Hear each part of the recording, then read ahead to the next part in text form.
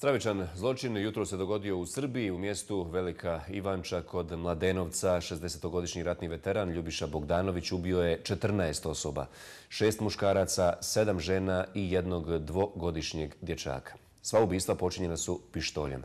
Bogdanović je nakon krvavog pohoda pokušao izvršiti samoubistvo. Ljekari urgentnog centra u Beogradu bore se za njegov život.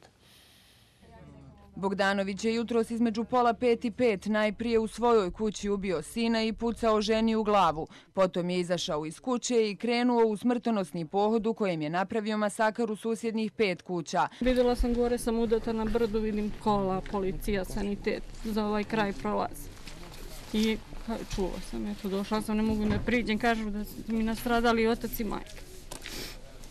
Policija tvrdi da je Bogdanović svim žrtvama pucao u glavu dok su spavali. Policijska patrola spriječila je veći masakar jer je Bogdanović kada ih je ugledao pucao sebi u glavu. Prema bolničkim izvorima nije bio psihijatrijski bolesnik. Susjedi su iznenađeni masakrom. Silo se ovaj da je jutros čovek Ljubiša taj Bogdanović krenuo da ubija ceo kraj. E, čovek je bio normalan za mene i za ove iz kraja. Sa svima je bio dobar.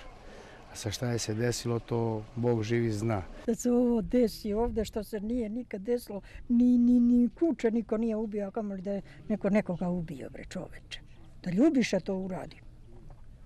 Šef Beogradske policije Miroslav Veljović tvrdi da je Bogdanović pucao iz vatrenog oružja za koje je imao dozvolu. Srbijanski premijer Ivica Dačić rekao je da se ova ubistva mogu smatrati kao svojevrsno upozorenje. Reč je o jednom neočekivanom zločinu, znači ništa nije ukazivalo da se to može desiti. E, naravno, to je velika tragedija. Jednostavno, to su stvari koje nas e, u posljednjim godinama sve više podsjećaju možda i na neke druge zemlje gde je to veoma često, veoma često prakse, ali možda je ovo i potreba da se malo više obrati pažnja i na neke druge stvari u društvu, a ne samo na policijski rad. Ubica je učestvovao u ratnim dejstvima na prostoru Hrvatske 90-ih godina, a prije dvije godine je ostao bez posla. Istraga je u toku, a gradske vlasti najavile su da će proglasiti dan žalosti. Pokolj kod Mladenovca jedno je od najvećih masovnih ubistava na svijetu u posljednjih 15 godina.